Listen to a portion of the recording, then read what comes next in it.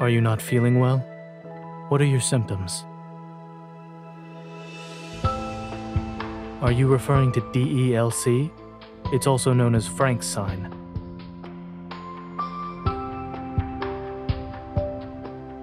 Online is in the internet.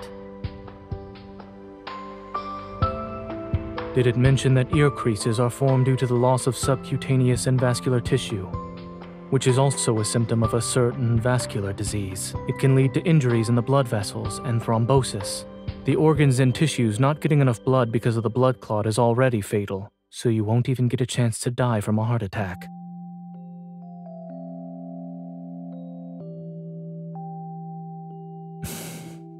you value your life now, and other times you don't.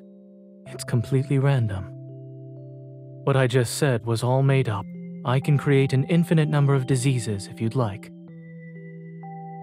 You cover your ears when a doctor gives you advice, yet you believe whatever the internet says. Perhaps I should create an online consultation service for unruly patients like you.